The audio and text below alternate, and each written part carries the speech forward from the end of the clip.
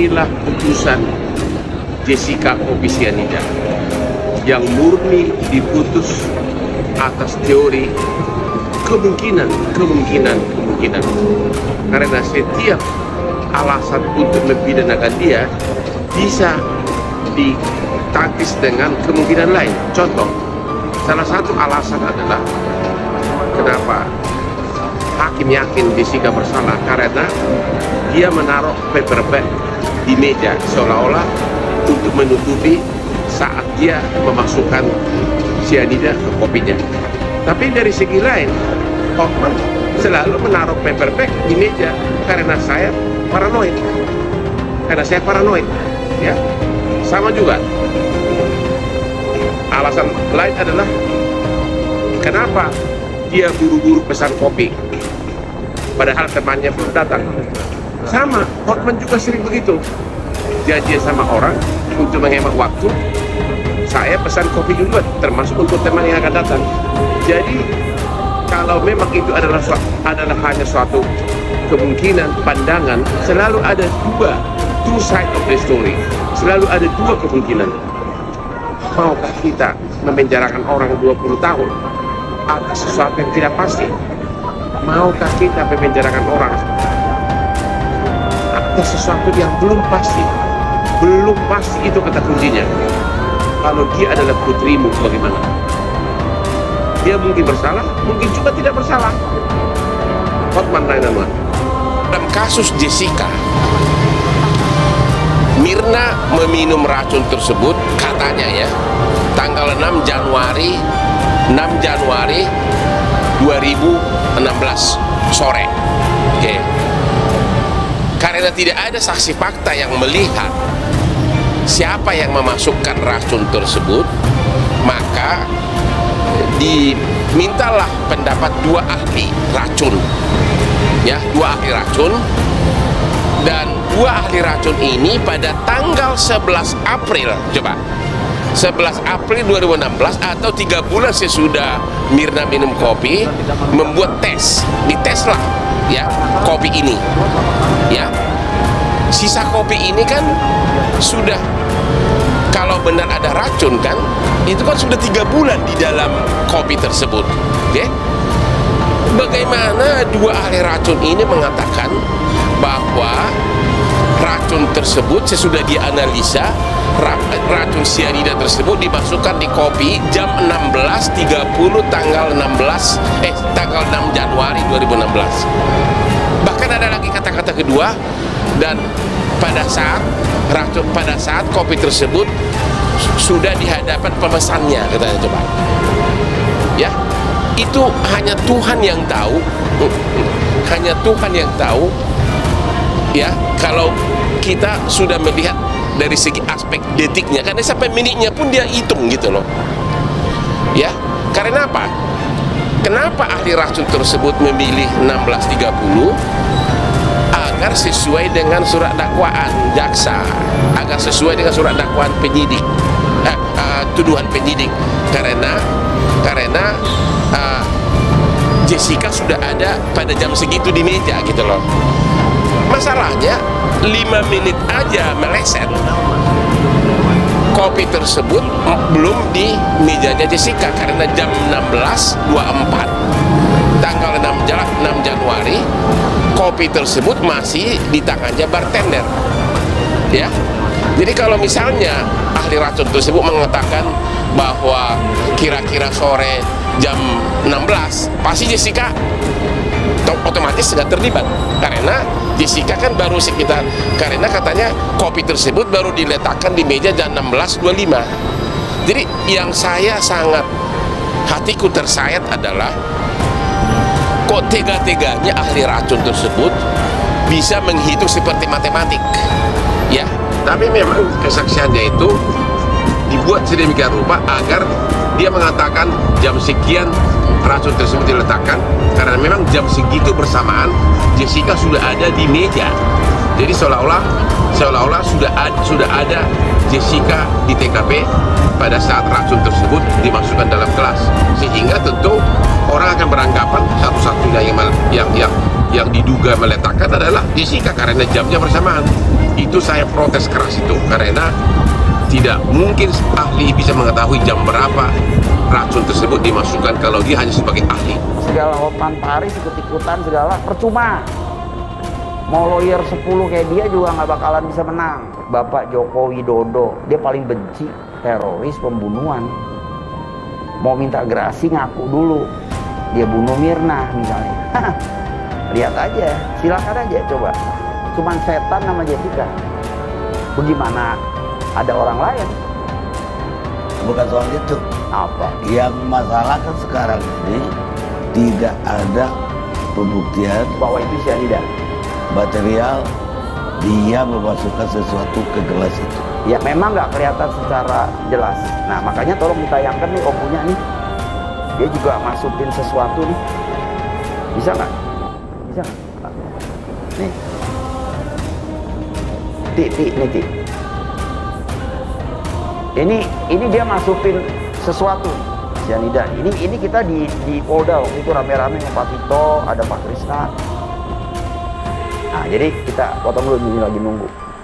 Loading dulu. Kok Pak Tito eh, ikut ikut turun tangan? Pak Tito ngelihat ini justru dia panas tuh wah eh lu bakalan sidang ini scientific rame dia bilang begitu tuh lihat tuh nah ini kenapa kita nggak keluarkan dulu waktu sidang kita nggak mau dia dihukum mati biarin dia keseksa kalau bisa seumur hidup maksud saya begitu pakar asuransi belak-belakan soal kasus kopi sianida Mirna. Klaim atas asuransi jiwa tidak serta-merta dapat cair bila kasus kematian diakibatkan pembunuhan. Hal ini seperti yang terjadi di polemik kematian Mayan Mirna Sailihin akibat kopi sianida. Pakar Forensik Claim Investigation Asuransi, Dedi Kristianto mengatakan Sebelum nasabah bisa menerima manfaat proteksinya, ada beberapa tahapan yang dilakukan perusahaan asuransi untuk mencegah kasus manipulasi klaim terjadi. Ia pun mencontohkan, misalnya yang membunuh adalah ahli waris karena dia memang berintensi untuk mengambil untung dari asuransinya. Bisa jadi yang bersangkutan akan membayar orang untuk membunuh. Lalu, nanti dibayarkan kepada ahli waris. Nah, ketika alibinya itu terpenuhi begitu, maka klaim itu tidak akan dibayarkan, ujar Dedi lewat sambungan telepon pada Rabu 4 Oktober 2023. Tetapi, uang pertanggungan bisa dibayarkan apabila pembunuhan tidak terkait dengan asuransinya. Contoh, cekcok, suami istri gara-gara anak kemudian ditusuk salah satunya meninggal. Nah, pembunuhan itu tidak terkait dengan asuransi yang dimiliki, sehingga intensinya dan alibinya berbeda di situ, jelasnya. Adapun penentuan keputusan pencairan klaim tersebut diambil berdasarkan hasil investigasi pihak kepolisian. Dede pun menyimpulkan uang pertanggungan yang besar tidak serta-merta membuat seseorang rentan menjadi sasaran tindak kriminal. Sebelumnya, pengacara Jessica lainnya yakni Yudi Sukinto Wibowo pernah menyebut Mirna memiliki uang asuransi jiwa senilai 5 juta US dollar di luar negeri atau setara 69 miliar rupiah. Alhasil muncul kecurigaan bahwa ada yang sengaja menjebak Jessica menjadi tersangka agar bisa mencairkan dana asuransi jiwa milik Mirna. Sementara itu, ayah Mirna, Darmawan Salihin, memang tidak menampi anaknya memiliki asuransi. Namun, dia tak merinci jenis asuransi yang dimiliki Mirna. Darmawan menyebutkan bahwa besaran uang asuransi tersebut adalah 10 juta rupiah. Darmawan pun mengatakan bahwa apa yang dikatakan Yudi adalah bohong. Kepolisian sendiri pada saat itu mengatakan bahwa Mirna tidak memiliki asuransi jiwa dengan uang pertanggungan 5 juta US dollar. Di lain sisi, kasus lama kembali mencuat setelah salah satu layanan streaming Netflix mengeluarkan dokumenter mengenai pembunuhan Mayan Mirna Salihin yang tewas akibat racun sianida. Sosok yang menjadi pusat perhatian adalah sang tersangka, yaitu Jessica Kumala Wongso, wanita yang telah lama tinggal di Australia tersebut diketahui menyewa jasa pengacara Otto Hasibuan untuk membela dirinya dalam kasus ini. Diketahui Otto Hasibuan termasuk pengacara Indonesia yang mematok bayaran tinggi untuk siapa pun yang menyewa jasanya. Tentu menjadi pertanyaan, apa sebenarnya pekerjaan orang tua Jessica Wongso hingga bisa menyewa jasa Otto Hasibuan? Apakah benar orang tua Jessica seorang konglomerat? Ternyata, ibu dari Jessica Wongso, Imelda Wongso, membantah dan berkata bahwa mereka bukan konglomerat dan isu bahwa mereka memiliki pabrik plastik adalah salah. Gak benar semua, anak tante itu semuanya kerja, makan dari gaji. Hanya itu, ujar Imelda Wongso. Saat diwawancara salah satu televisi swasta dilansir pada Jumat 6 Oktober 2023. Imelda juga membantah bahwa keluarganya mempunyai pabrik plastik dan menjelaskan bahwa keluarganya punya usaha di bidang plastik. Kita orang keluarga Jessica, bukan punya pabrik. Kita orang agen, agen plastik. Jadi bukan pabrik. Yang produksi bukan kita orang, kita hanya agennya saja. Jadi, pabriknya ada bahan apa kita nggak tahu. Jelas Imelda lagi. Apalagi, sebelum kasus mencuat pada 2016 lalu, sang ayah yaitu Winardi Wongso sempat mengalami penyakit yang membuatnya tidak boleh terlalu stres.